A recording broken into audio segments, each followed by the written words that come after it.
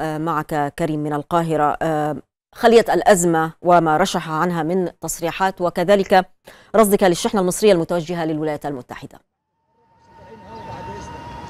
يمكن أن نقول أنه على مدار هذين اليومين بداية من اليوم وغدا وبعد غد سيكون الإعلان عن ما ستسفر عنه أو ما سيسفر عنه مجلس الوزراء المصري من قرارات تتعلق بحظر التجوال خلال شهر رمضان المبارك والذي سيكون إن شاء الله بداية من يوم الجمعة المقبل وبطبيعة الحال حظر التجوال الذي رفعته مصر خلال الفترة والأسبوعين الماضيين سينتهي يوم الثالث والعشرين من إبريل الجاري أي يوم الخميس المقبل. وبالتالي لابد أن تصدر القرارات سواء غدا أو بعد غد على الأكثر.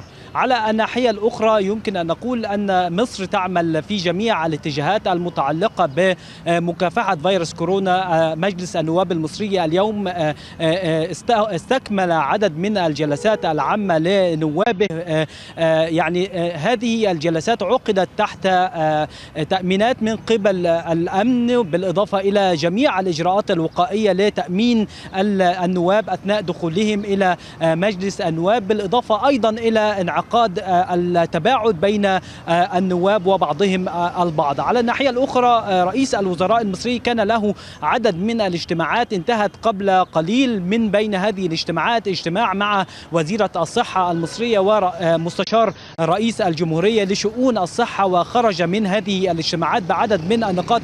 أبرز هذه النقاط هي تتعلق بتوفير كافة المستلزمات الطبية والتعاون والتكاتف بين الوزارات المعنية بهذا الملف خلال الفترة المقبلة. أيضا ملف آخر وهو متعلق أو اجتماع آخر متعلق بوزارة الإسكان المصرية وحديثه مع وزير الإسكان المصري حول استكمال المشروعات القومية خلال الفترة المقبلة. نعم. مع أيضا تأمين جميع العاملين وصرف جميع المستحقات للعاملين.